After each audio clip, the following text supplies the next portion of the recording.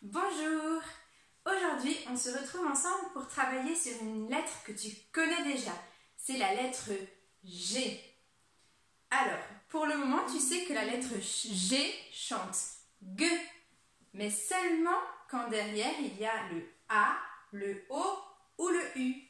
Exactement comme la lettre C qui chante K quand il y a le A, le O ou le U. Nous allons voir ensemble deux nouvelles prononciations, deux nouvelles façons de chanter la lettre G selon ce qu'il y a derrière.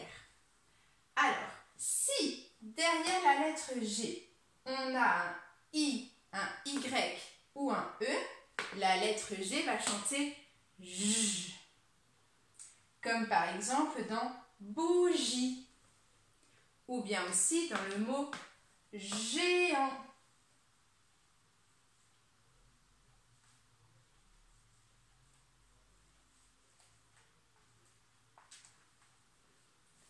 Ensuite, quand la lettre G travaille avec un N, ces deux lettres ensemble vont chanter N.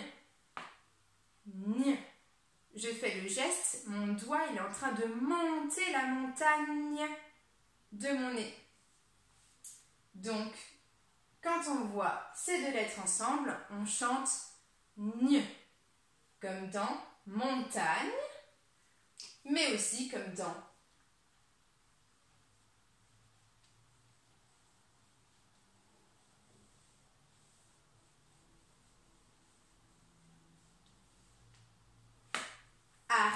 par exemple. Maintenant que tu connais toutes les prononciations de la lettre G, on va se retrouver pour faire la lecture ensemble. A tout de suite